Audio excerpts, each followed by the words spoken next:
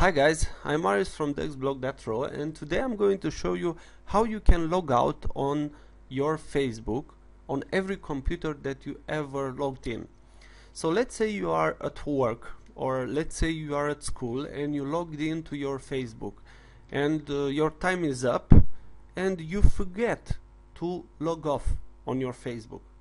So your Facebook account is exposed to every other person that will enter into that computer.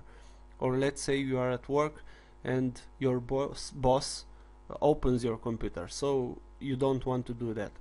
How you can log out from Facebook even if you haven't access to that computer? So let's say now you are at home.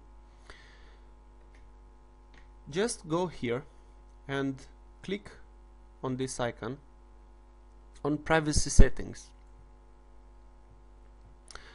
Go to security. Here we have active sessions. So just click here. And you see I have two sessions.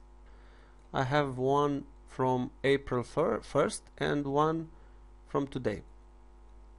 So I just press end activity and that computer will be logged off Facebook. So it's quite easy. You don't have to have access to that computer. You just need to enter here on the security tab. So that's easy. That's it's quite easy.